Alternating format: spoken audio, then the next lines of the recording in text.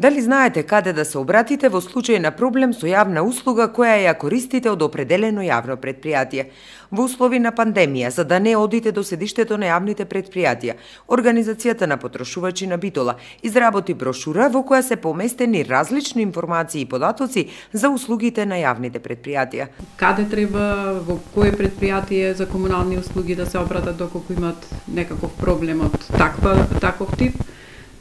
нивни телефони, контакт, емал адреси и така натаму. Значи, поттик ни беше тоа што годинава со оглед на ситуацијата со пандемијата, сметавме дека луѓето би требало да ги имаат овие податоци за сите комунални предпријатија на територијата на општината Битола, како би можеле за сите своји проблеми, прашања, од таков тип да можат да се обратат по електронски пат или на телефон, без да физички морат да се обратат во нивните седишта или во нивните експозитури.